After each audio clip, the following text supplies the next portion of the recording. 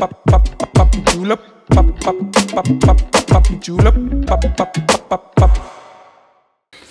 Üdvözlöm a kedves nézőket, elérkeztünk podcastünk második adásához, megint csak egy sportoló testvérpárt hívtam meg, most birkózásról, cságáncra, cságáncra váltunk. Üdvözlöm a vendégeimet, Ungvári Miklós, olimpiai ezüstérmes, valamint öcse, Ungvári Attila, Európa bajnoki bronzérmes. Először is köszönöm szépen, hogy elfogadtátok, elfogadtátok a meghívást. Hogy vagytok? Mi újság mostanában veletek? Attila, veled nemrég találkoztam, ugye, egy jó tornán. Így van, sajnos egy, egy nem túl kellemes helyen. Egy rossz helyen találkoztunk. Hogy van a sérülésed? Mennyire volt komoly a sérülés, és mik a jövőbeli tervek? Hát először is köszönjük a meghívást. Szerencsére nem komoly sérülést sikerült összeszednem. Az évelei Mitterzili edzőtáborba ráestem egy picit a vállamra, és ez az AC ízület kapott egy picit. Adokik azt mondták, egy néhány hét pihenő után már visszatérhetek, és reményeim szerint március elején van egy üzbegisztáni Grand Slam, ott már tudom képviselni majd a 81 kilóban Magyarországot. Akkor örülök, hogy nincs komoly sérülés, hamarosan visszatérsz. Miki, te ugye már visszavonultál, de most egy teljesen másik oldalról nézed most a judót szövetségi kapitányként. Hogyan telnek mostanában minden nap? De hogy beszéltünk, próbáltuk összehozni ezt az adást is, észrevettem, hogy elég sokat utazol, és kevés időd van. Hát szia Edi, tényleg köszönjük még egyszer a meghívást mi is. Hát most is éppen a repülőutam előtt ugrottunk be ide, mert nekem minden irány a reptér és a sorra következő Tel Aviv Grand Slamre utazunk ki. Néhány fiú társaságában, akik bízom benne, hogy értékes pontokat gyűjtenek itt a 2024-es olimpiára. És hát egy akkora nagy katymasz van itt körülöttem, meg velem, hogy, hogy én, én magam sem tudom, mert örülnék, hogyha itthon lehetnék, meg örülnék, hogyha versenyezhetnék még inkább, mert akkor azt gondoltam, én, vagy azt mondhatom, én mindig egy narcisztikus ember voltam, vagy egyéni sportoló, tudtam magamra figyelni, kimentem, megnyertem a versenyt, vagy mondjuk érmes lettem a legrosszabb esetben, vagy így terveztem, ugye volt azért azért néha-néha, amikor kiestem, de tudtam megcsinálni a feladatot, és ennyi. Csak most ugye ahány versenyző, annyi típus, annyi rigójával, babajával, személyisége, szóval mindegyiknek itt nem csak a judóra vagy az edzésmunkára kell figyelni, hanem legyen egy picit a pszichológusa, hiába egy nagyobb darab, lehet, hogy egy galamblelkű vagy egy kis egér szívlakozik benne, ahhoz egy picit mégis máshogy kellene szólni, vagy, vagy úgy motivált, vagy úgy inspirálda egy-egy mérkőzésre, vagy mondjuk edzésen. Szóval ez így, így még fárasztóbb talán, olykor, olykor úgy érzem, hogy az energiáim végén vagyok, és jó hazajönni,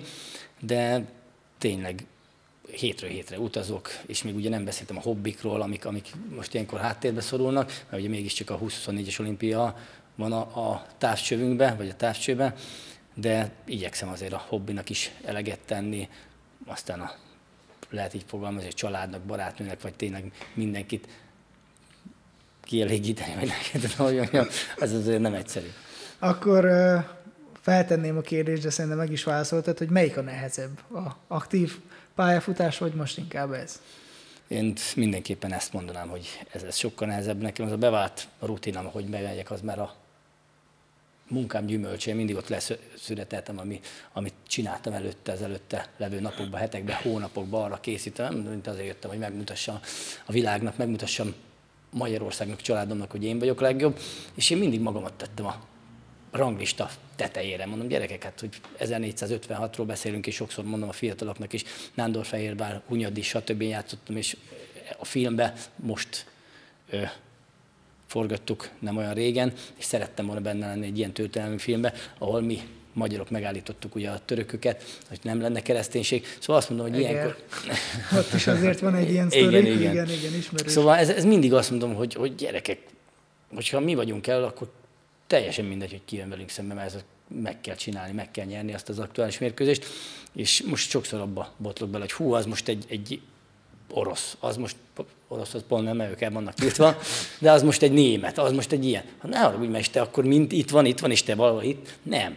Te legyél a tetején ennek a piramisnak, és az mind, mind alattunk. Mert ugye, ha visszatérve a Attillákra, vagy az Attillára, ugye, aki lealázta az egész világot. És Mindig ugye, megy a vita otthon, hogyha lesz gyerekem, én mindenképpen Attilának szeretném. Hát na, én azt mondom, olyan büszkéséget tölt el ez, hogy, Ez hogy a- ugye három koporsóba tevették el eleve, hogy miért, azt is tudjuk, stb. stb. Ezek én mindig így mentem fel egy-egy adott mérkőzésre, mondom, gyerekek, ezek honnan jöttek, vagy még történelmük sincs, már történelmük ez a sincs. mentalitás. Én mindig azt mondom, hogy itt nincs mese, egy lehetőség van nyerni. Mert ugye itt nálunk döntetlen nincs, itt valaki mindig nyer, de az mindig jobb, hogyha a mi oldalunkra billen a mérleg, és mi nyerünk.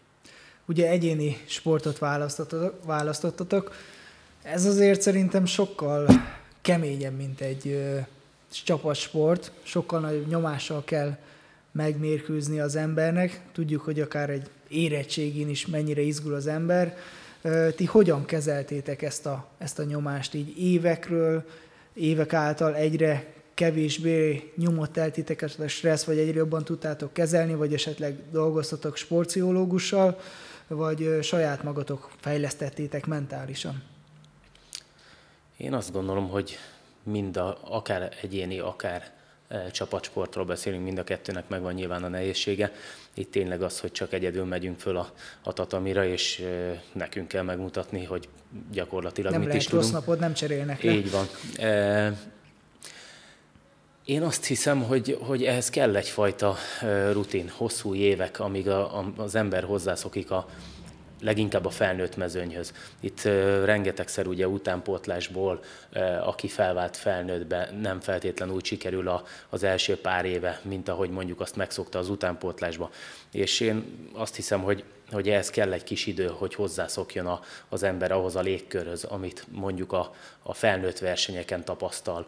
Ezeken a Grand Prix, Grand Slam versenyeken maga a körítés, a, a nézőszám is gondolom sokkal másabb, bár nem tudom, már régen voltam utánpótlás, úgyhogy e, nyilván ezekhez azért tényleg hozzá kell szokni, és, e, és hogyha ez, ez sikerül, és sikerül beilleszkedni, akkor azt gondolom, hogy, hogy a rengeteg munka mellett azért, azért még mindig vannak ügyes emberek Magyarországon, és, és bízom benne, hogy ezek, a, ezek az utánpótlások be is érnek, mint ahogy most már egyre többen azért mutogatják az orosz, oroszlán körmeiket, ilyen például a, a Sipőc Ricsi, Végzsombor, hogyha a férfiakról beszélünk, már pedig muszáj, mert a férfi szövetségi kapitány áll vagy ül itt mellettem, ugye de akár, akár lehet mondani a 90 kilóban rengeteg ügyes gyereket a Tóth Krisz mögött, akik, akik most már azért éregetnek be a Gőzroli, a, a Sáfrány, Peti, Úgyhogy, úgyhogy bízom bennük, és, és remélem, hogy ez a, ez a pár év, amit rá kell szánni arra, hogy, hogy a felnőttbe megszerezzék ezt a rutint, az be fog érni, és később mondjuk oda tudnak érni. Akkor biza- bizakodóak vagytok a utánpótlással kapcsolatosan, és igaz, hogy van jövője a magyar judónak. Reméljük, hogy van így de én vissza kanyarodnék az előző gondolathoz, hogy hát nagyon sok összetevős ez a, a sztori, hogy ki, hogy lámpaláz leküzdése, izgalom, vagy mi, ugye említetted itt az érettségit, valaki ott el tud állni, vagy valaki el tud állni egy jogosítvány megszerzésének a kapujába. Én azt mondom, hogy egy nagyon jó szakember elengedhetetlen. Többek között nekem évekig segített a munkámat Lénát Ág, dr. Lénát Ágota, nem csak az egyetemen, hanem amellett is, vagy a mai napig, hogyha úgy van, tudok tőle tanácsot kérni. Én azt gondolom, hogy ezek a szakemberek nem feltétlenül ő ki, ki mibe hisz. Az, az is nagyon fontos, hogy higgyünk valamiben, higgyünk Én valakiben. személy szerint én nem hiszek a, a sportpszichológusban, lehet azért, mert még nem voltam, mert valószínűleg egyszer szeretnék elmenni. Én, én nem hiszek, de ö, Persze mindenki más, válogatja. ugye? Aha, én, én nagyon, és, és tényleg olyan sok. Ugye nekünk egy adott mérkőzésen akár lehet, hogy kilen, reggel 9 órától kezdődik, és délután 8-kor végzel. Ott mindig egy olyan állapotot kell előidézned egy-egy mérkőzésre, Mhm. uh-huh. ugye nyilván most az autó parkolóba áll, az nem, nem adsz gázt, az le van állítva, de amikor beülsz, Be akkor a leg, legjobbat kell, hogy kihoz belőle, hogy egy piros lámpánál is ismét ezt nehéznek tanítani a versenyzőknek, a gyerekeknek, hogy ne szólják szét a fényüket, gondolkodjanak, csak olyan emberre vegyék magukat körül, aki nem az ő aurájukba betörnek, leszívja az energiát, hanem esetleg aki feltölt. Én volt, amikor egy-egy mérkőzés bemenetelt, vagy egy EB döntő előtt a Hidas Dokival beszélgettem egy műtétről, mert mondtam, hogy egy, valami komoly sztorit Doki, valamit olyat dobj be, ami, ami egy kicsit elgondolkodtat, kicsit kizökkent abban a sztoriban, és, és nem beszélve arról, hogy azokat a regeneráló, a, a relaxációs autogén tréningeket abban a pillanatban és abban a momentumban vedd elő, akár egy adott mérkőzésnél is akkor figyelj az edződre, vagy akkor a helyre menetelni, de ezt azt gondolom, hogy az öcsém a karvaj az nagyon jól szokta halkazni, mint a fiataloknak még ez kell, hogy maradj lenne egy picit, most rendezd a gondolataidat, csak egy-két ilyen megindító, néha kevesebb, több lehet, hogy nem kell annyit ütni, vagy mm. dobni, vagy indulni, vagy gyúcsikomizni, lehet, hogy néha csak egy pontosabbat, néha egy picit gondolkodj az ellenfél agyába, gondolkodj a, a bíró fejével, így van, és, és, és, és maradj lenne csak egy pillanat a szedd össze, gondolat, most figyelj ki, és vissza. És ez mind-mind segítette, mind a pszichológ, giából tanultak, mind, a, mind az ágota, és mind ami a, a sport ban évek alatt rám ragadt, meg a versenyzésemben. Gondolom kiegészít. azért rengeteg világversenyen vettetek részt, rengeteg tapasztalatot szereztetek, szóval ti is tudtok segíteni, akár, ahogy mondtad, hogy akár egy következő generációnak kicsit a pszichológusa is vagy, hogy azért ezeket a Látni, sokszor látni kell, volt, hogy az öcsém, hogy mi basztatsz, már bocsánat. Uh-huh. Nem basztatok, csak látom, ülsz, ülsz. Ez mondom, nem jó, valamit csinálni uh-huh. kell, kizökkenj, sok, sok verseny, azt, hogy én azt Kicsit mondom, a hotelben maradtam. Azt, azt vallom sokszor, hogy a leghatékonyabb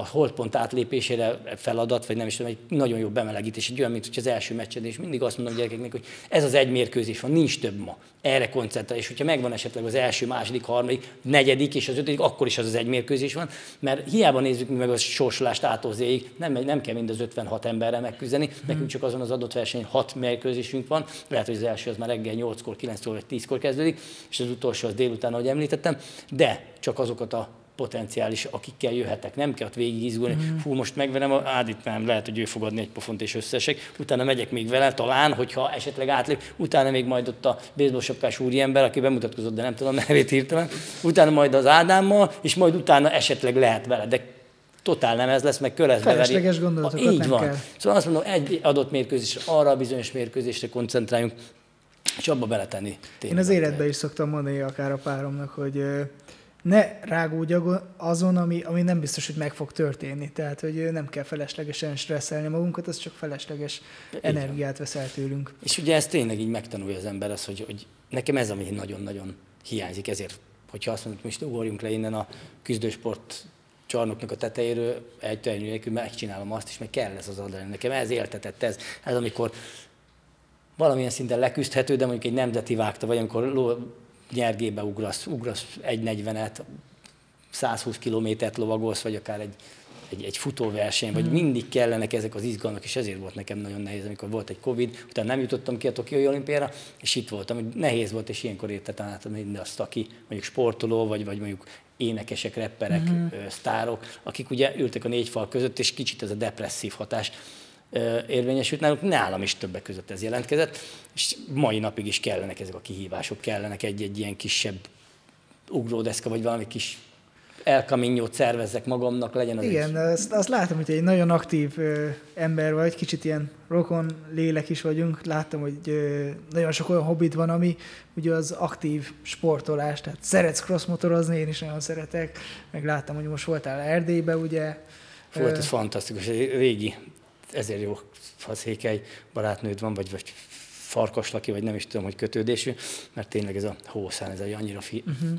fantasztikus flash, és már két éve akarom kipróbálni, és itt másfél méteres hóban ez, ez átértékelik, vagy átírodik az ember agyába, és meg egy alföldi parasztgyerőknek Ceglédről, hogy milyen felszerelés szükségeltetik egy ilyen motoros hószánozáshoz, meg milyen technikával kell ezt csinálni. Szóval nem olyan egyszerű ez, ahogy gondoltam volna, de most, hogy így három napot ott tölthettem motoros szánon a lábam között. Volt hogy, volt, hogy este úgy aludtam, hogy mondom, megint merre dőjek, merre húz, de kicsit, mint a jet, kicsit, kicsit mint a, a, a quadot, de tényleg, aki teheti, az azt mondom, hogy próbálja ki, és ez a mélyhavi szánt, szóval ez is egy olyan adrenalin, vagy akár egy vadászat, és nem a, gondolok itt az, hogy öldökölni, uh-huh. kimenni egy természet fotózás, vagy ott járás is szeres dápol dóvdavazatot járni, vagy tényleg, ahogy mondtad, legyen az quad, vagy én utcai motorra is közlekedek, mm-hmm. nyilván nem ebbe az időbe, vagy azon túrázok, de tényleg még sorolhatnám a hobbikat, akár egy jó szelet kifogsz a vitorláddal, legyen az a Magyar tengeren, a Balatonon.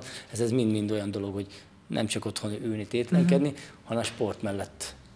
Attila, te is ilyen aktív vagy így a szabadidődben? Én valahogy nem.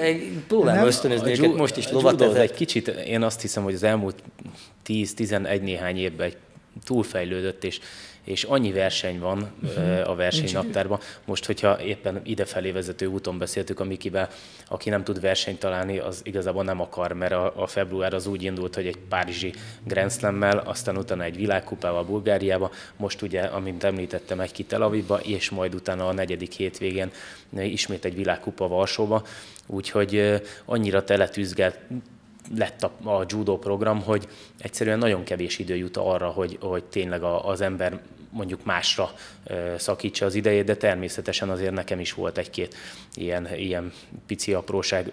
Nyilván... Hozzá kell tenni, te voltál mindig az igazi sportoló, én, én kutyaütő voltam. Nem, sokszor én, voltam, én, én szeretem, nem? szeretem egyébként, igen, edzés sokszor után voltam, hogy Japánban vagyunk edzőt, mondom, karba, judogimat nem hozta, de nem. Az itt az enyém, én úgyis beteg lettem. Hú, mondom, én úgy álltam be, de éppen el voltam valahol kóbászóban. Aztán volt olyan, hogy... szamuráj kardot vett.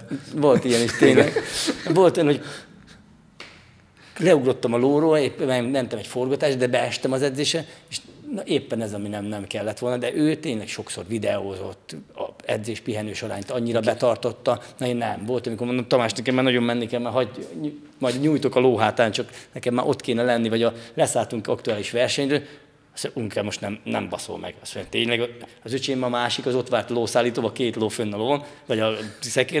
De mondom, hogy én kiugrok, ne csál. Kocsiba öltözködés, valaki tudja, mi az fehér nadrág, és akkor go a lóverseny. Azt ez nem normális. Szóval ilyeneket én megcsináltam, meg mai napig megcsinálok, míg tényleg egy igazi sportoló azt gondolom, hogy Ebben sok, sok, viszont egészen, inkább jobban sokkal, én is. Egészen más egyébként nyilván az ő sport története is, nyilván az enyém is, e, pedzegettük kint ugye a témát. Én megpróbáltam egy időben nagyon fölzárkózni, aztán többé-kevésbé ugye sikerült, úgyhogy azért is egy picit úgy kimaradtak e, ezek a dolgok is, de azért nyilván e, időfüggő is, nekem is van azért egy-két hobbim, hogyha tél, akkor szerettünk korizni járni. Volt olyan, hogy egy időszakban mondjuk edzés után leedzettünk reggel, leedzettünk este, majd még utána kimentünk este a helyi koripályára, és akkor ott még lenyomtunk, nem tudom, fél Kis tavakon, vad hoki összecsapást a, a, a helyi városi így... csapattal, úgyhogy azért, azért voltak ebbe bőven. Minden sportban egy picit belekóstoltunk. Uh-huh. Hát nyilván én aktív, szerintem aki küzdősportot választ, az nyilván az egy aktív személyiség, de most a Mikire ránézek, simán kinézném belőle, hogy valaki odaad neked egy crossmotort, és hogy figyelj, így kell csinálni egy hátraszoltót, te nekivágnál, nem? Biztos. Hát most már azért óvatosabb duhaj vagyok, hogy át, át De azért mondjuk egy tíz évvel ezelőtt. Hát, ez sima. Ereszkedtünk ilyen tornyon, emlékszel? Igen, igen. Szereztünk egy kis beülőt is, ilyen, még a régi nem is tudom melyikre, katonák ott hagyhattak egy nagyon-nagyon magas torny, ezt mindenben, ezt próbáljuk, és akkor ereszkedtünk, a végén ilyen arca akartunk lefutni, mint az igazi Azon versenyeztünk, hogy ki megy ki le hamarabb. rúgásból tud lemenni. Igen. igen. Szóval tényleg én mindig szerettem kipróbálni, legyen az bármi, és itt a küzdősportokba is beleszagolni, akár egy kicsit a kezet mozgatni, ugye nagyon sok, nagyon sok küzdősport. Olvasom, hogy ökölvívás van, és kacsingatás. Sőt, gyerekként még szerettél volna ökölvívó Én ökölvívó szerettem volna lenni, így van, de édesanyám nagyon-nagyon ellenezte, vagyis ő kevésbé, mint én. Crossmotorra akkor még nem volt pénz, uh-huh.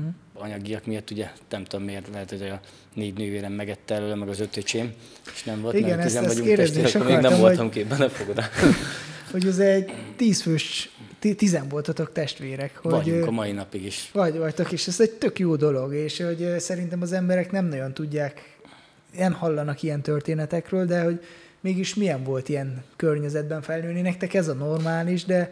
Természetes, de... tök jó volt minden. Nekünk azért az, kíváncsi igen. lennék egy, egy karácsonyi vacsorára, hogy, hogy ott azért mennyi, mennyi meló volt.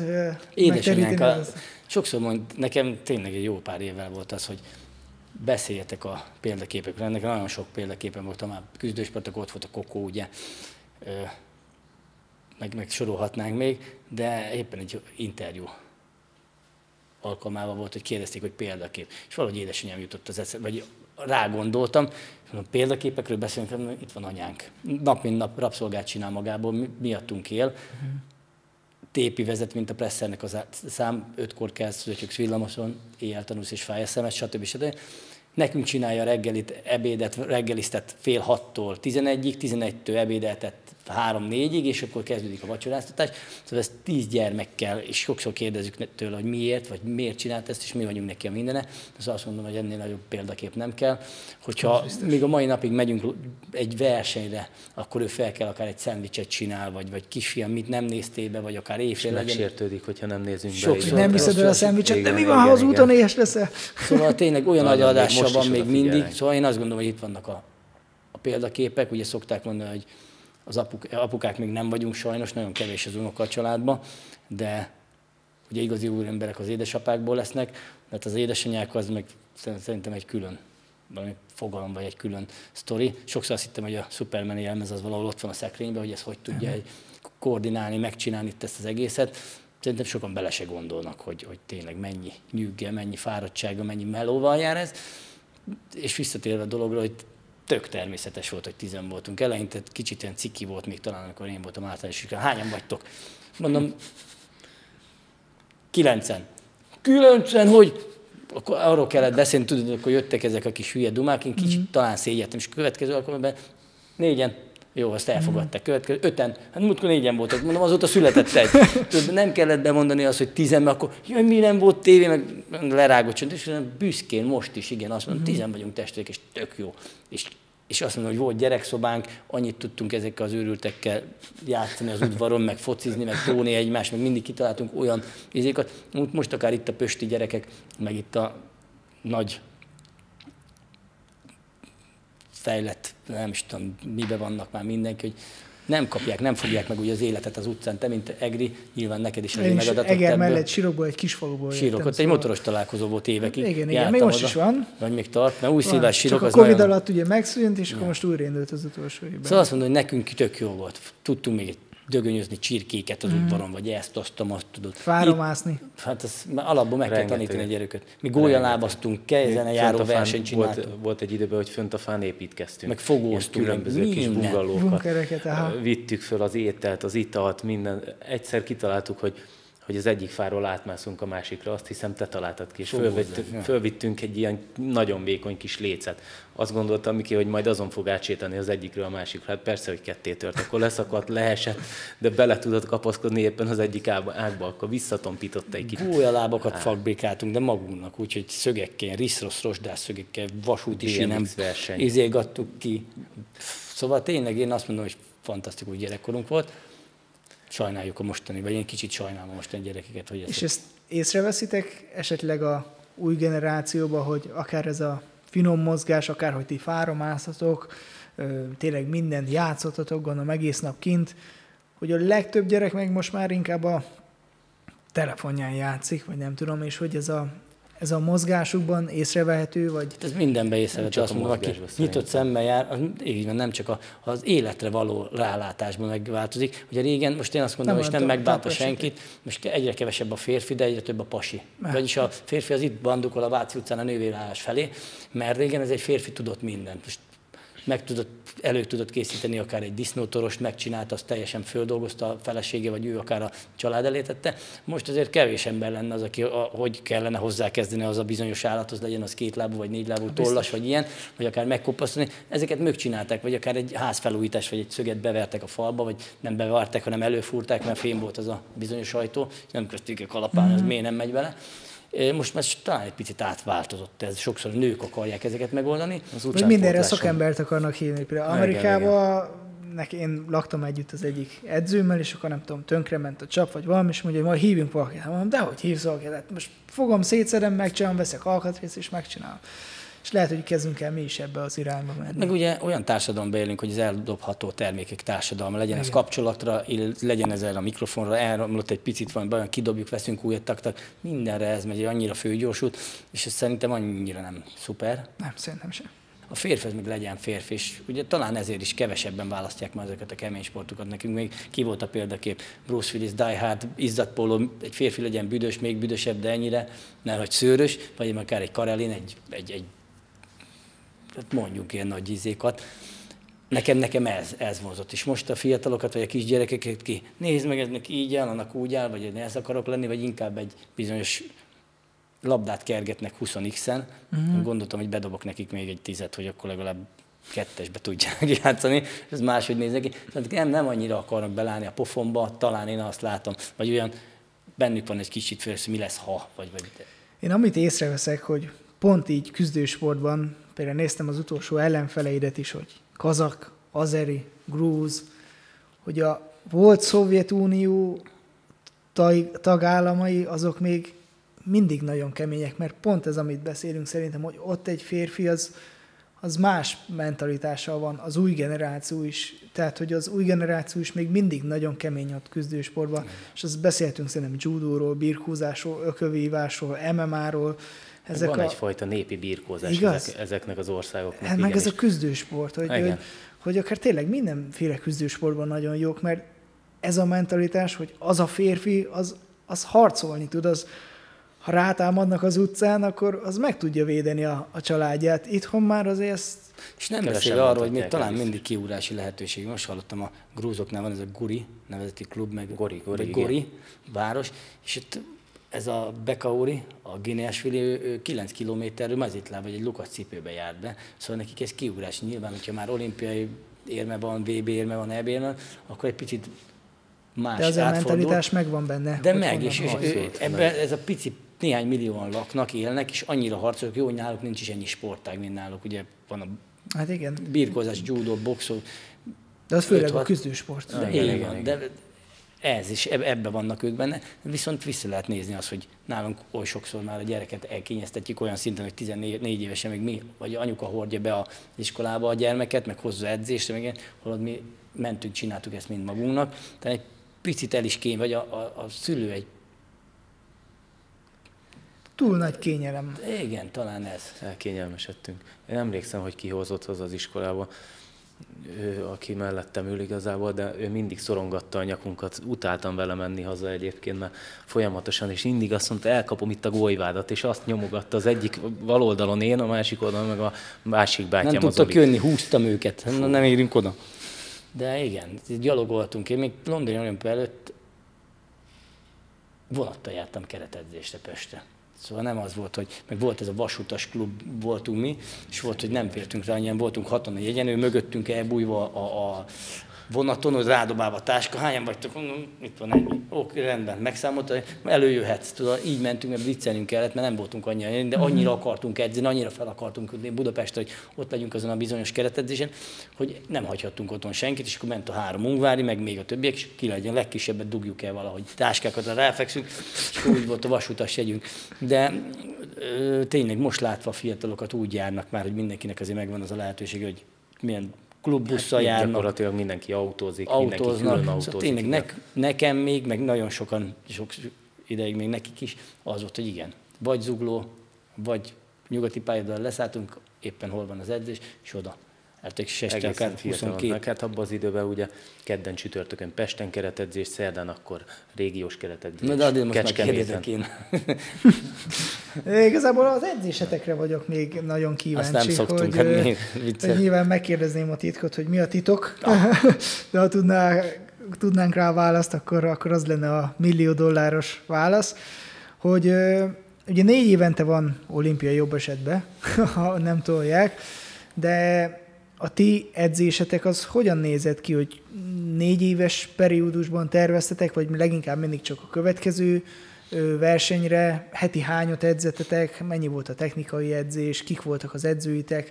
Ö, igen, hogy erre lennék kíváncsi, hogy mikor lett igazából komoly számotokra a judo, hogy na most akkor én csak a judóval akarok foglalkozni, vagy ö, nem lehet így tettlegesen megfogni egy pillanatot, hogy na most én itt eldöntöttem, hogy, hogy nagy bajnok akarok lenni? Hát, ha magamról beszélek, akkor nekem elég korán megfogalmazódott a kérdés, hogy mindenképpen szeretnék egy olimpiára kijutni, de nyilván ez azért is, mert a Miki már akkor 8 éve ugye judozott, és hát szerintem mind a kettő kettőnk nevében mondhatom, hogy Bíró Tamásnak köszönhetünk rengeteget, hiszen ő tanított meg dzsúdozni, és azt a, azt a fanatizmusát, azt a e, naprakészségét minden nap odarakta a dzsúdószőnyegre, e, és, és megtanított tulajdonképpen a dzsúdóban nagyon-nagyon sok mindent, amiből a mai napig szerintem tudunk e, építkezni. Ehhez természetesen az is szükség ges, hogy, hogy mondjuk a, a versenyző legyen egy, egyfajta fanatizmussal megáldva, és uh, amit az edző kér, jelen esetben ugye a bíró szenszei kért tőlünk, akkor tényleg, hogy azt mondta, üssük ki a falat, akkor nekiálltunk és kiütöttük. Úgyhogy ez mindenképpen kell hozzá. E, mi szerintem a Tamásnak a, a személyébe azért megtaláltuk őt, mint egy nagyon jó edzőt, ő meg minket, mint egy jó, talán emberállományt. És arra vagyok még kíváncsi, hogy mi, mi volt az a dolog, ami úgy, úgy igazán motivált titeket az olimpia, vagy, vagy csak imádtátok a sportot, imádtátok csinálni, és, és csak mentetek az árral, hogy, hogy minél jobb judókává válni? Szerintem fiatalon amúgy a, a, a társaság az, ami vonza nagyon. Egy, egy sportbarátság jóval hosszabb ideig szerintem tart, mint egy iskolában kötött barátság. A csaták, közösen vívott csaták, azok olyan Igen, igen. Szülni. Az, hogy minden nap, minden hétvégén mondjuk versenyekre mentünk együtt, és szurkoltunk egymásnak, együtt készültünk, együtt sírtunk, együtt nevettünk ezek mind, mind kellettek szerintem ahhoz, hogy e, tényleg oda jussunk. Neked erről valami? Igen. Nekem más nyilván ez a 8 éves sokat jelenti, 80-as vagyok, ugye én még ott a rendszerváltásban voltam, voltam kisdobos. Nekem talán, ahogy beszélgettünk, nekem meg volt ez a kiugrási lehetőség is. Én köszönhetek apámnak is, mert ő csinálta nekem az első rolleremet, mármint azt, amikor ilyen medicinról lett, és volt olyan székeken kellett átbújkoznom, vagy az, hogy kilépsz egy fekvő, kilépsz két fekvő, ezeket így bennem volt, ő boxoló volt, ez mindig így fanatizált. Vagy volt, amikor őt kellett olyan biciklivel, vagy, vagy tényleg volt egy kocsmai fogadást, na gyere ki, csinálj kötött, meg sörfogadás, ki tudja, megcsinálta, fejre esett a legtöbb, ugye behúztak a fejre, jó, akkor most csinálj tizet, szóval jó, most menj haza, és akkor haza kellett mennem. Szóval egy picit ő, neki talán megvolt ez a, ez a inspirált ő is, hogy sportoljak, és talán el, el tudta, vagy a áttörést az jelentette, amikor a Barcelona olimpiára hazajöttek, és láttam, hogy ott a judósok megcsinálták, és nekem ez egy kiugrási lehetőség volt. Apámnak volt egy kis komárja, tudom, azt akartam berobbantani ott sokszor, egy ilyen kis kormányváltó, zöld vagy piros éppen, és mondom, hát nekem ez, ez egy ilyen nem biztos lesz, de inkább én tovább akarok. Nekem tényleg az volt, hogy nem csak azért, mert büszke, az, azt szeretném, hogy büszke legyen rám a, akár az anyukám, a családom, az országnak az ország. büszkeséget hozzak. Nem tudtam feltalálni egy jobb mikrofont, vagy egy jó kamerát, hanem itt a sportba letenni a névimet, egy, akár, akár példaképek legyünk, példaképek legyünk a, a fiatalságnak. Szóval nekem mindig valahogy ez, ez értetett, hogy igen, megmutatni, vagy úgy hazajönni egy-egy világversenyre, hogy sokszor mondom a fiatalok, hogy nem jobb hazajönni, amikor én hazajöttem az olimpiára, vagy hazajöttünk egy-egy EB-ről, VB-ről, vagy amikor szétszettük a, a a repteret. Szóval ez, ezek, ezek olyan meghatározó, meg olyan fantasztikus pillanatok, meg a győzelem maga, hát de hát te is, hogyha úgy belegondolsz, fantasztikus Persze. győzni, fantasztikus ezt megélni, és az, hogy tényleg egy picit nagyobb legyek, jobb legyek, meg tudjam mutatni, hogy, hogy én el akarom azt venni, és én is így voltam el, ha már olimpia, akkor olimpián szeretnék érmes lenni, nem csak turistának oda menni. Ugye nagyon sokáig nem sikerült, aztán megadatott, mert tényleg lehetett volna jobb is, sikeresebb több olimpiai nem, de én azt mondom, hogy ez már történelem, a jelen ajándék, a jövő meg rejtély, szóval hálásnak lenni mindazért, amit kaptunk, vagy amit elértem. Sokszor persze elégedetlen vagyok, de ennek ellenére azt mondom, hogy köszönök mindenkinek, aki segített, tényleg itt szóba jöttek az edzők, de tényleg akit sokat, sokat köszönhetünk, az Bíró Tamás, aki felkarolt már kilenc évesen, ott szaladgáltam, a kis mezitlábos parasztgyerek, bement a judo edzésre, nekem egyengedtem munkámat, egy nagy solymos Sanyi is tőle inkább a ilyen, ilyen mentál, meg fejbe, pszichológiát jobban tanultam. Voltak szövetségi kapitányok, Nagy Ernőtől kezdve. Én mindenkitől próbáltam leszedni azt a kis tud, ö, dolgot, vagy azt a tudást, amit ő tudott igazándiból, és elraktározni magamnak, és leg, komolyabb pillanatokba előszedegetni, de mégis azt mondom, hogy visszamennék egészen gyerekkoromra, vagy ott volt a megindítás, hogy lehet, hogy apámnak is volt egy szerepe, vagy mhm. édesanyámnak, hogy igen csináld, amikor nem engedte azt, hogy abba hagyd, mert igen, sokszor ugye 40 fokba uh-huh. kint a gyerekek játszanak, vagy akár bicikliztek, vagy csináltak éppen, mi meg benne a teremben izzadunk, és akarjuk magunkról a bőrt, vagy mondjuk egy nyári tábor, vagy legyen a szalagalvató, vagy legyen egy kétnapos kirándulás, farsang.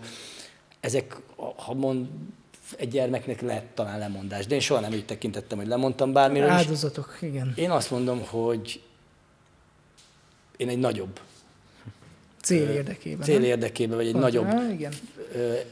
Értékesebb ügy érdekében lemondtam arról a kicsiről, mert mondjuk lehet, hogy voltunk 28-an az osztályban, de ab- abba, vagy azon a nyáron lehet, hogy én voltam egyedül X helyen, vagy mondjuk a későbbiekben én voltam azon a bizonyos Európa-bajnokságon, világbajnokságon, vagy olimpián, vagy nekem nagy megtiszteltetés az is, hogyha mondjuk a ház elnökével, a köztársasági elnökkel, vagy a miniszterelnök úrral kezet foghattam egy-egy rendezvényen, vagy egy díjátadón. Megérte. Én azt gondolom, hogy ez megérte, és nem megbántva azokat, vagy Persze. úgy, hogy szürkelgerek, nyilván tök jó dolgot csináltam Csak megéri, volna. ezzel szerintem azt tudod hangsúlyozni, hogy megéri áldozatokat hozni. Így. Tehát kimaradni nem lemondás, abszolút. buliból. Á, Én se igazából lemondásnak mondanám azt, hogy ö, mondjuk nem voltak úgymond főiskolás éveim, amit végigbuliztam volna, hanem áldozatot hoztam azért, hogy valami nagyobb dolgot ö, tudjak megvalósítani. Meg szerintem így az évek alatt ez egy kicsit ilyen olyan, mint a drog, a függőségé válik az, hogy az ember újra érezni akar, akarja azt a sikert. Nem tudom, hogy neked most milyen, én nagyon félek attól, hogy ha egyszer visszavonulok, és nem lesz majd ez a, ez a versenyzés, az a, azt a pillanatot, azt a pár másodpercet, amikor felmegyek a kezem, nem, nem érezhetem, az biztos nagyon nehéz lesz, de azért a te karriered az, az nagyon egyedi, azért négy olimpia, sőt majdnem összejött az ötödik is. Mindig is kíváncsi voltam, hogy hogy néz ki egy olimpiai falu, tehát hogy, hogy ott tényleg ö, ilyen versenyek után mondjuk nagy bulik vannak, meg az ország ö, sportolói, ugye el vannak szársolva, gondolom a magyarok azok egy helyen vannak, de gondolom nem egyszerre megy mindenki, hanem különböző csoportokba. Erről tudnátok mondani pár szót, hogy hogyan is néz ki egy olimpiai falu? Először maradjunk annál, hogyha abba hagyod, hát még ne hagyd abba. egy Hát még nem, még bőven nem. 10-20 évig, mert utána nap mint nap újra akarod kezdeni, én is vagyok ezzel, így most évelején mit terziben, mondom, újra kezdem, egy küszöm, hogy két verseny kell, megint, mondom, megint újra kezdem. Most érzem megint. a bugit. Most érzem, mondom, nagyon akarom,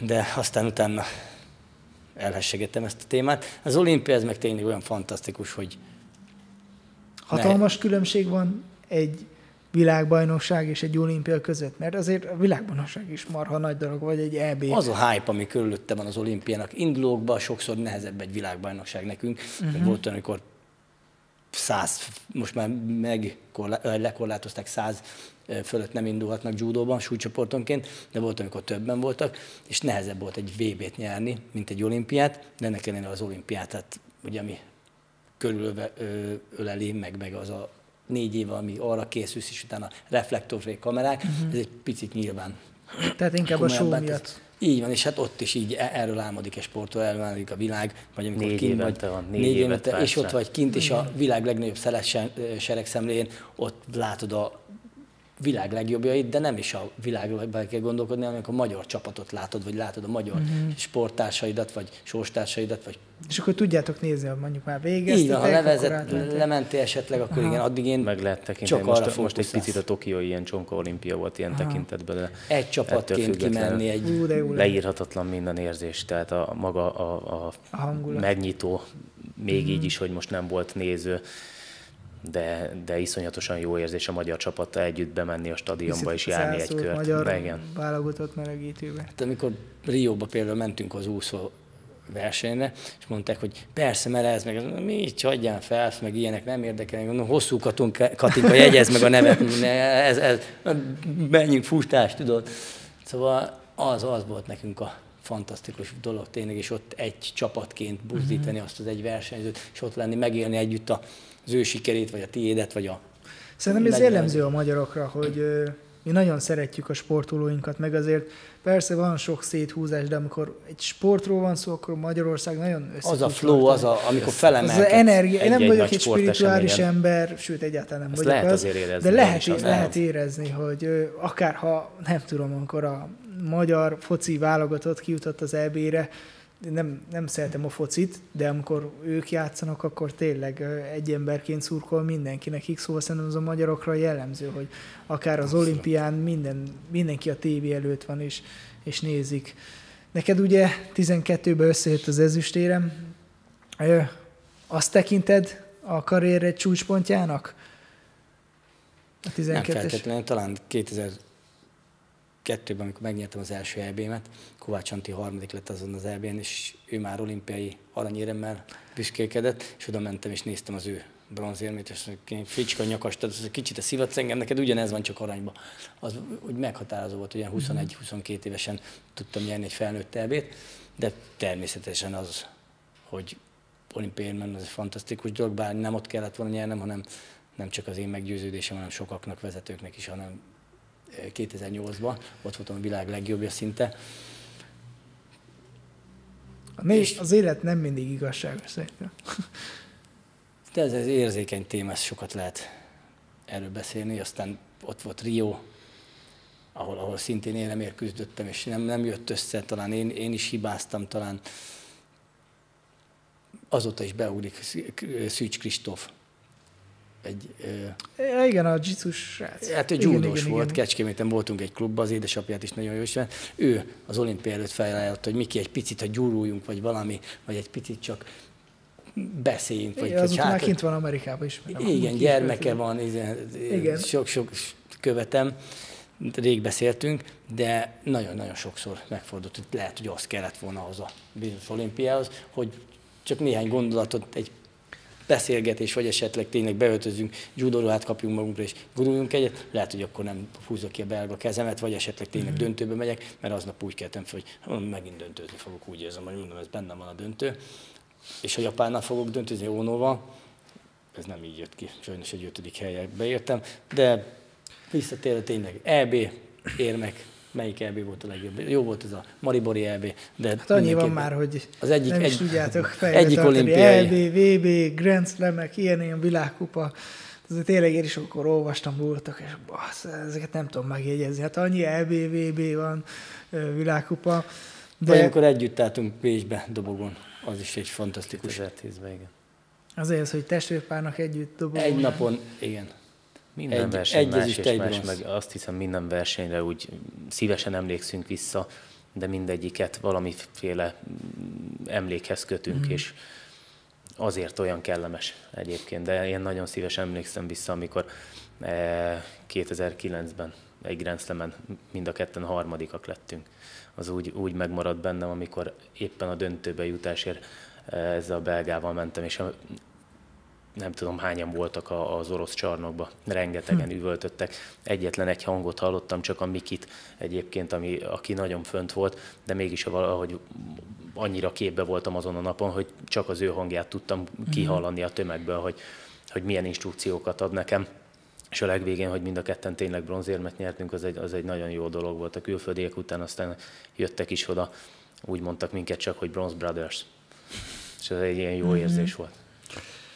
Most egy kicsit szomorúbb témára szeretnék menni, és hát nem szeretnék, de érdekelt ez a dolog. Ugye 2011-ben volt az a bizonyos kupa, ahol egymással döntőztetek, és Miki ugye visszalépett a tejavadra, és utána pozitív tesztet ö, mutattak ki, de ugye ezt tudjuk, hogy, és nekem a legmeghatározóbb az az volt, hogy te automatikusan tudtad, hogy dopingtesztre fogsz menni, hogyha Miki visszalép. Tehát, hogy ez az én véleményemet, ezt el is mondtam, hogy én melyik állásponton állok, de hogy ö, szerinted ez volt életed legnagyobb harca, hogy két évig el voltál tiltva, pont úgy, hogy amikor éremesies lettél volna azon az olimpián, és, és nem is tudom, ez hogy nézett ki, hogy, hogy egyáltalán nem mehettél judó szőnyegre, vagy, vagy csak a saját, nem tudom, kertedbe edzhettél, vagy hogyan is nézett ki Így ez? van, hát gyakorlatilag leírtál mindent, a legnehezebb időszakom volt. De hogy Nekem nem, nem is, az nem lehetett, hogy bemész egy olyan terembe, ami nem a szövetségi, vagy valami, hogy oda judózhass? Valahogy úgy lett leírva és kimondva, hogy szervezett edzésen nem vehetek részt. Mm.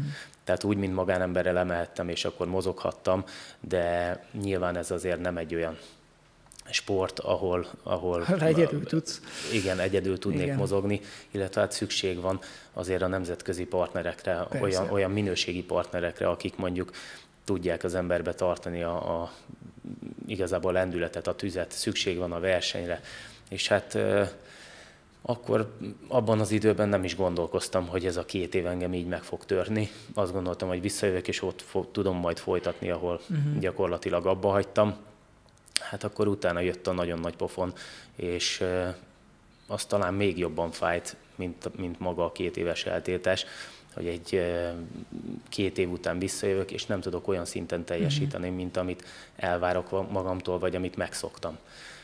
Úgyhogy ez volt talán szerintem a legnagyobb arconütés a, a két éves eltiltás után, és hát ezek után rengeteg év eltelt úgy, hogy, hogy találtam, keresgéltem magamat, hogy Gondolom, hogy, nagyon sok hülye gondolat jött a rengeteg, fejedbe, hogy rengeteg, így van. Nekem is csak egy pár hónapos kihagyásom van de mit tudom, két hónap után már azon gondolkozom, hogy olyan lesz még ebből a lábból valami, vissza fogok tudni térni. Át tudom érezni ezt és is, akkor gondolom, de, hogy milyen, de neked ez két évig, ugye, hát ez elképesztő, hogy szerintem nagyon, ez az igazi nagyon, nagy... Nagyon, nagyon sok a két év, viszont a 13-ban jöttem vissza, és azt hiszem olyan 2016-ig csak tényleg kerestem azt a régi önmagamat, mm. aki, aki a szőnyegen mozgott, és azt az energikusságot, ami bennem volt, vagy azt a, azt a kicsit ilyen nagy képűséget, mm. amivel föl tudtam menni a szőnyegre, azt a lazaságot, hogy hát bármi történjen. Hogyan, bocsánat? Hogy kiestél a ritmusból biztos. Ki, hát, és az, hogy mire visszajössz, nem csak az a két év. Olyan, hanem, olyan dolgokkal kellett szembesülnöm a legelején, izgultam, remektem, amikor két mm. év után be kellett pakolnom például az első versenyre. Olyan lámpalázas voltam, hogy gyakorlatilag a súlyomat elfelejtettem, hogy hogy kell beállítani. Uh-huh. Míg előtte elmentem egy versenyre, és volt olyan, hogy két napig nem álltam a mérlegre, a csuklomról meg tudtam állapítani azt, hogy hány kiló vagyok uh-huh. körülbelül volt olyan, pontosan eltaláltam. Most ezek mind így hiányoztak. Az, hogy a, a, azek, azok a rutinok, mit raktam be, volt e, tipikusan olyan olyan ö, szettem, amit, amit mondjuk bemelegítő uh-huh. ruhának használtam, és azokat használtam, hogy megyek be, hogy kötöm az övemet, ö, mikor veszem le a sapkámat. Tehát annyi ilyen kis rigójám, hogy, hogy ezekből így egyszerűen kiestem, és kellett az a, az a rengeteg év szerintem, míg, míg újra fölvettem ezt a ritmust, e, illetve hát szükség is volt szerintem arra, erre a jó néhány évre, hogy e, egy picit magam mögött tudjam hagyni ezt az egészet, és, és ki tudjam kapcsolni a fejemet. Sajnos ez a dolog megtörtént, nem tudok vele mit csinálni, és itt igazából e, visszakanyarodok egy picit a, egy jó szakembernek a, a segítségére. Abban az időben rengeteg segítséget kaptam különböző szakemberektől, és megpróbáltam mindenkiből egy kicsit úgy kiszívni a, a, azt, a, azt a dolgot, ami nekem esetleg hasznos lehet. Aztán egy idő után azt vettem észre, hogy az egész egy ilyen nagy katyvasz a fejembe, és, és rengeteget agyaltam, dolgoztam ezen, próbáltam ismét ugye fölkapaszkodni, és minél jobb-jobb lenni. És egy idő után azon vettem észre magam, hogy mindig jár az agyam, mindig és mindig ezen jár, és, és, és pörgetem magamat. És nem tudtam egyszerűen belazulni a feladathoz, mm. elengedni egy picit, és amit nagyon szeretek csinálni a judo, nem tudtam élvezni. A, leg, a legnagyobb problémát Szerelmem. igazából, szerelmemet nem tudtam élvezni. Így van. És most az elmúlt években érzem azt, hogy, hogy újra egyszerűen nem olyan görcsösen föl tudok menni lazán a, a, a szőnyegre, igen. Uh-huh. Ez nyilván az is kellett, hogy e, az a kilenc évesen megfogalmazódott álmom, hogy kijussak egy olimpiára, az ugye Tokióba sikerült. E, az egy picit talán úgy levett egyfajta terhet a vállamról, és, és megmutatta, hogy képes vagyok azért még a jó eredményre.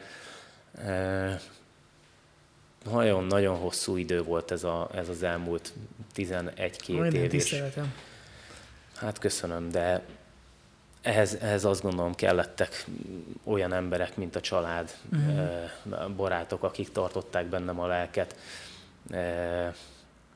Kellettek nyilván Meg kellett azok a... főleg.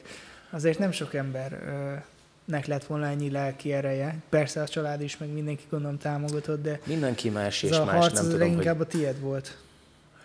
Ez egy, ez egy hosszú vívódás volt magammal. Mm. Voltak olyan versenyek, amikor éppen kint voltunk együtt Kínába, és zajlott a mm, Riói olimpiára kvalifikáció, és kiutaztunk Kínába egy versenyre, nem tudom hány órás időeltolódással fölkészültünk a verseny, és ott a versenyen történt egy olyan dolog közben, hogy beszólítottak a szőnyegre, elméletileg, de mi bent a bemelegítőben nem hallottunk semmit. És addig-addig szórakoztak a judogi kontrollon, hogy gyakorlatilag lekéstem a meccsem.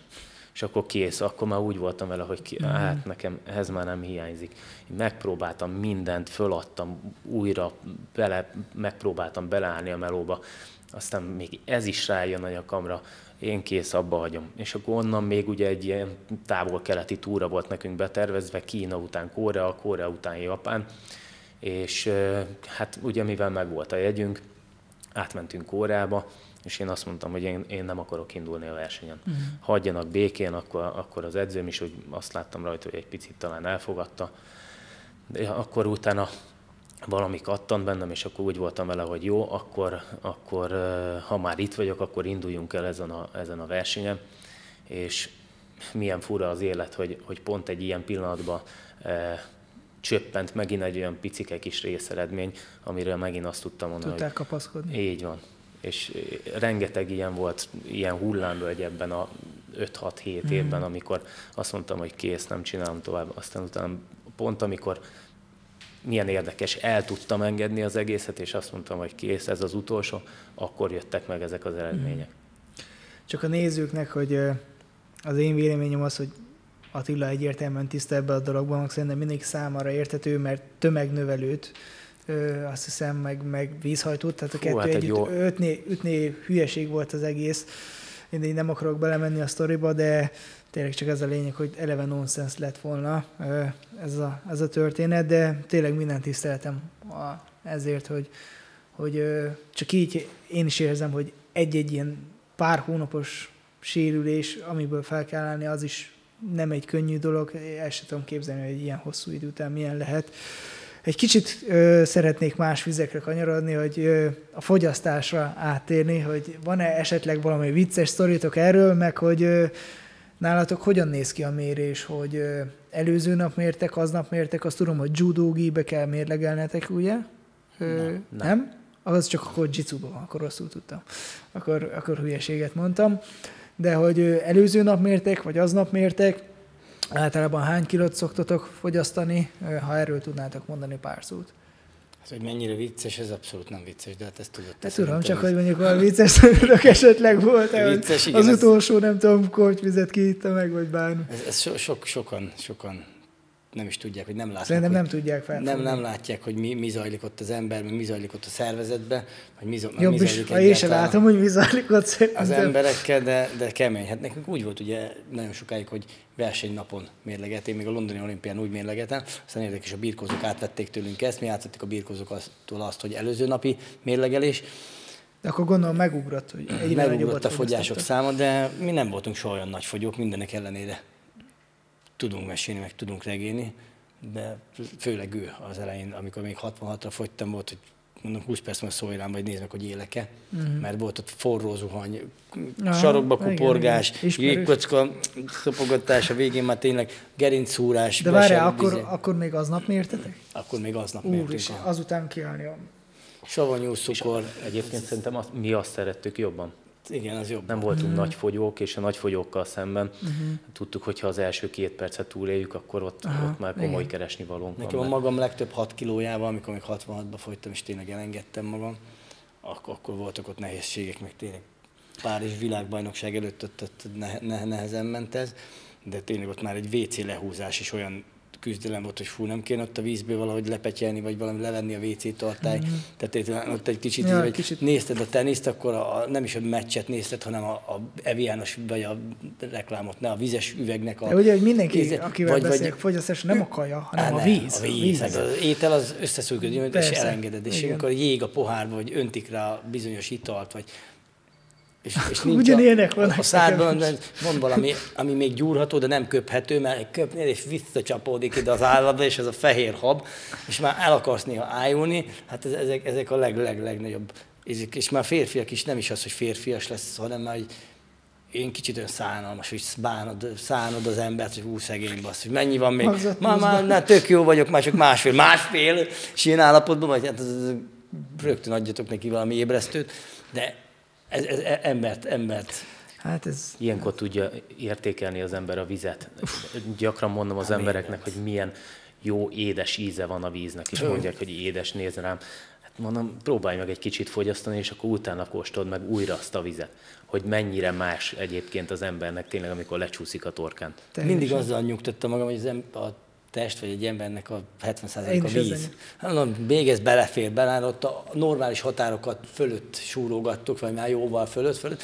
Nem még ez belefér, hát nem tudom, ahhoz képest, amit te fogyasztasz itt, azt mi nem fogyasztottunk, mi csak nem vacsoráztunk. Jó, de nekem nyilván van másfél napom visszatölteni, tehát hogy én mondjuk 77-ről lefogyok 66-ra, másnap 75-76 kiló vagyok, de amikor fogyasztok, pont ez most mondta az egyik barátom, mondom, bazza nekem, bocsánat, nekem mindig úgy szokott fájni a hátam, és akkor mondja, hogy hát a csigolyák közül is már megy ki a víz. Persze.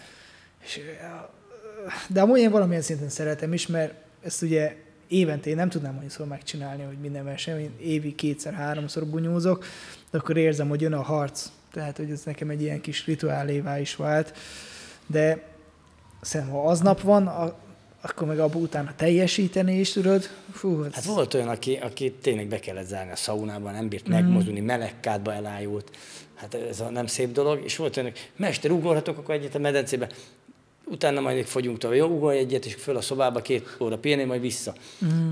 Volt rajta 40 deka, beugrott a medencébe, fölment, pihent két órát, lejött, volt rajta 80 deka. Ezt hogy csináltad? De már minden el volt zárva, hát ki itt a medencét. Azt gondolta, hogy csak öblít egyet, és nem bírta megállni, Aha. megívott fél liter vizet Ja. legalább, és újra kellett kezdeni. Szóval tényleg itt Ah, az Sőt, volt olyan is, aki tényleg nem lehetett elengedni, megpróbál valamit mosdozni, és hallottuk, hogy mi a fenét csinált, hogy zerelte az izét, és ott föntről ökart, öbl, ö, öblögetett ebbe a kis Demeter tartályba, és onnan próbált magához valami kis folyadékot szedni, de tényleg itt a szaunában való ugráló kötelezés nyilván Mm. nem Anorákba, természetesen. sapkasál, anorák, és, és, és ott pörgetni, kubai szisztéma, vagy nem is tudom még kiket láttam, de, de tényleg nekem is volt, hogy a végén egy picit nem ugrálni, de egy picit mondom, beülök a szaunába egy 5 perc, hogy induljon meg az a verejtékezés. Az a negyed óra az már nagyon-nagyon kevés volt, kellett ez a 38 perc, hogy végre jöjjön, és utána be az ágyba feküdni, tehát ezek, ezek kinek mi jön be, mert tényleg itt én is dolgoztam annyit, és olyan sokat Dietetikussal dolgoztatok? Hogy éltem. Azzal is én. Volt, igen. Uh-huh. Azért abból is szerintem így a gondolom az évek alatt két- is ti is megismertétek a testet. Hát szalonna, meg ilyenek, én azt nyomom. szörnyű. Szalonnát, tehát milyen Szalon- dietetika? Hát. Szalonna, Vidéki gyomor, csak a jól tesszük, tudod. Csirkét, ez nem az beteg állat, amit meglövünk, meg amit meg tenyésztünk, vagy termelünk, azt. Mhm. Nem gyors kaja, meg ilyenek. Mert a franciák tudod, mi esznek csigát? Nem. Már utolják a gyors kaját. Ah.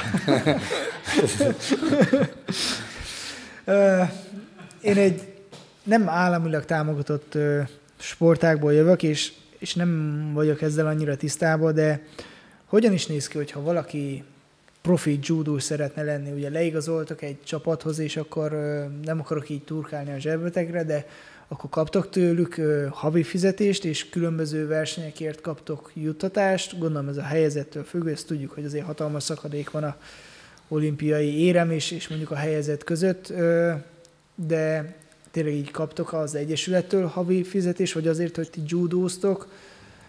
Nálunk a judoba azért én azt gondolom, hogy el kell érni egy bizonyos szintet ahhoz, hogy mondjuk az Egyesület egyáltalán szponzorálni tudja a, a versenyzőjét. Most már e, egy picit átestünk a ló túloldalára.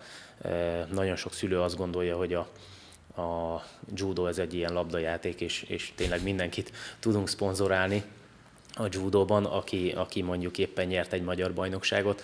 Hát nálunk azért ez nem feltétlenül így, gondolom, így van. véges a, a Így van, és, és ugye rengeteg gyerek is van, vagy én azt veszem észre legalábbis a Ceglédi klubból, hogy, hogy egyre több, több gyerek teszi be a lábát, különböző programoknak köszönhetően is.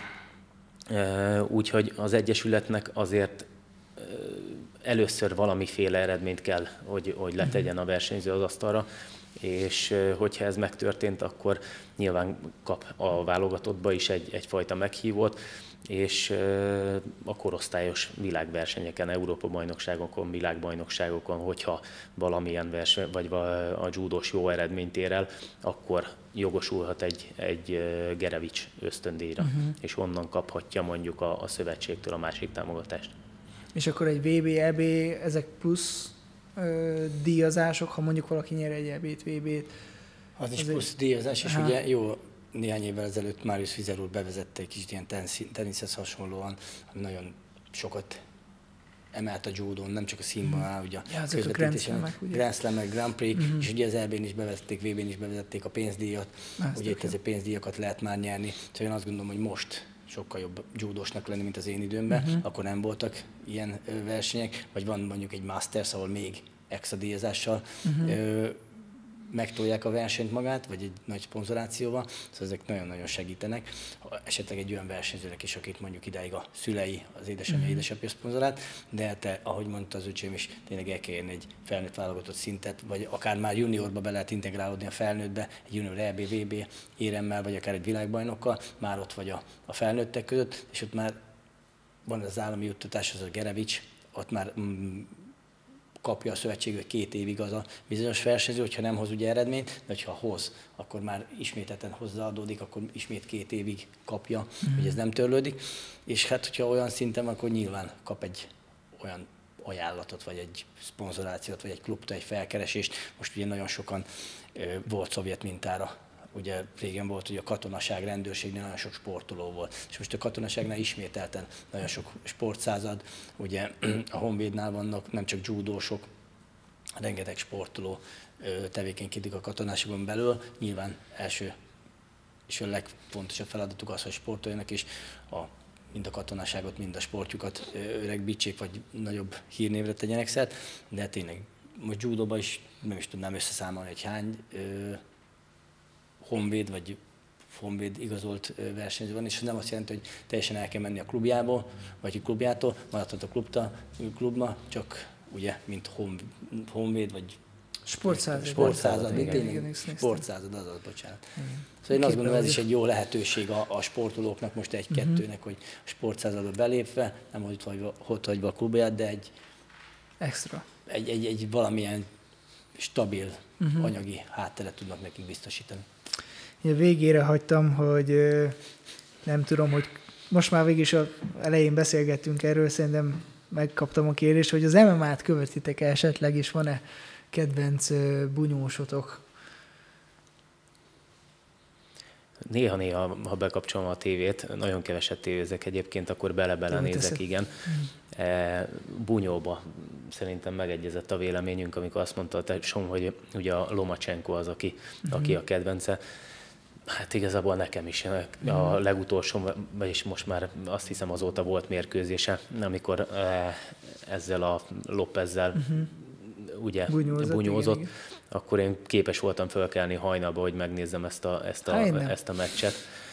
És néha Youtube-on böngészem még egyébként, megnézegetem őket, ugye van másik ukrán, Úszik, aki, aki uh-huh. ilyen mhm. nagyobb súlyba egészen jól mozog, de, de azt hiszem, hogy a Lomacsenko az, aki, aki Na, nagyon közel áll. Bunyóban szerintem igen, utánozhatatlan. Ronda Rózi híre, ugye judósként, ő is MMA-ban elég nagy sikereket ért el hogy az ő híre eljutott hozzátok, vagy esetleg így a judós körökben nem -e hallatok olyat, hogy ah, lehet, hogy kipróbálnám az MMA-t, vagy, vagy e felé kacsintanának? Rengetegen kipróbálták, meg próbálnak bele nyal, nyalni, többek között most Kohan Jóska, vagy Birkózó, igen, Pisti, igen, akinek most sajnos nem úgy jött össze a legutóbbi mérkőzése, de nagyon sokan, meg kül, eh, külföldön ott van a egy magyar hölgynek olimpiai érmes is volt, eh, Petli Marikának a férje, ő ausztrál színekben nagyon sokat bunyózott, sőt, most kint van egy volt judósunk, a Temesi Sebestyén, Sebi, Sebi és ő is, ő is bontogatja szárnyát, vagy olykor, olykor bunyózik, de számomra sem egy olyan távol, de én is az a kövívás van és kacsingat. Igen, egy kicsit edzettél is ugye egy kicsit, meg ma edzel is néha a kövívást. Néha, néha, bár most az Iminek megígértem tegnap is, ha jól emlékszem, hogy Sőt, most már valami, azt hiszem valami birkózó versenyen is voltál? Voltam, ott egy könnyelmű kijelentést tettem egyszer Szöcsinek, csapatbajnokok lettünk egyébként magyar bajnokok birkózásba csapatba, a két Lőrinc testvérre, és én el, próbáltam erősíteni a csapatot.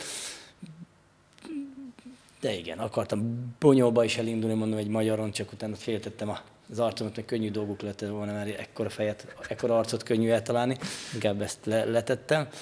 De igen, engem mindig vonzott. Meg sőt, volt, amikor úgy fogyasztottam, hogy vagy fogyasztottunk egy folyosón, hogy akár volt, egy hogy Jr. Cápának az egyik szemináriára szemináriumban a mentünk el Cápának, Kecskemétre. Diz Gusztinak, igen, vele is gurultunk, ugye még egy régebbi időszak. hogyha Ceglédre, akkor Halmi Halmi Viktorékkal Viktor, rengeteg volt. igen, is volt, hogy Sőt, én még uh, voltam is a általad elnevezett judó teremben, mert uh, én tartottam Viktoréknak szemináriumot, mert Viktorral én is jóba vagyok.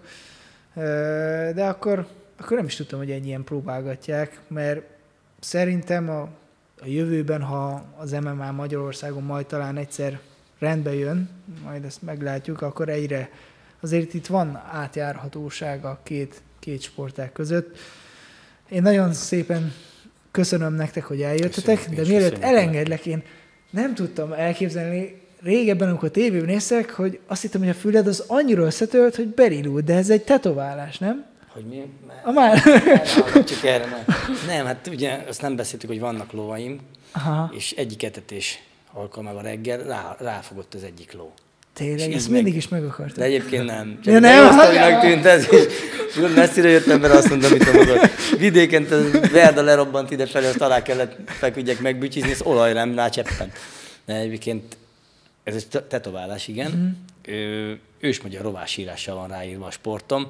Most lehetne kérdezni, hogy mi köze az ősmagyar rovásírás, meg judo. De mondom, én nem Magyar ember japánkodok, én magyar paraszt gyerek vagyok. vagyok, mondom, legyünk rá az, és amikor értem ki Hollandiába, akkor volt ott egy ismerős, aki uh-huh. mondta, hogy ő még ezt a cauliflower nem tetovált soha fülre. Ez És nem sok ember. Megcsinálta, de már kikopott, már nem ját, látszik annyira, de Azóta el is megfertőzött pár embert vele, mert Tényleg? elének is ilyen van egyébként. egy néhány ember, igen, akinek Nem el van törve, hogy a karfialfülek azok Aha. előszeretettel látták, vagy volt hölgy, aki hátra, ennek is el volt törve, és Aha. a Csincia kavazott egy olasz júdós csaj, neki hátra csináltatott egyet, de ja, valaki Én már- amikor néztek, néztelek a tévén, mondom, basszus, ez ennyire össze van Koszos hogy is nincs otthon víz, hogy tanyán, úgy kellett ez ide, mint tanyára a villany. Hogy inkább a víz kellett volna, hogy bevezessen, akkor lemossa. De még egyszer tényleg nagyon szépen Köszönjük, köszönöm, hogy köszönjük. eljöttetek. Örültem, hogy megismerhettem Köszönjük a beszélgetést. pop, pop, pop, julep, pop, pop, pop, pop, pop, julep,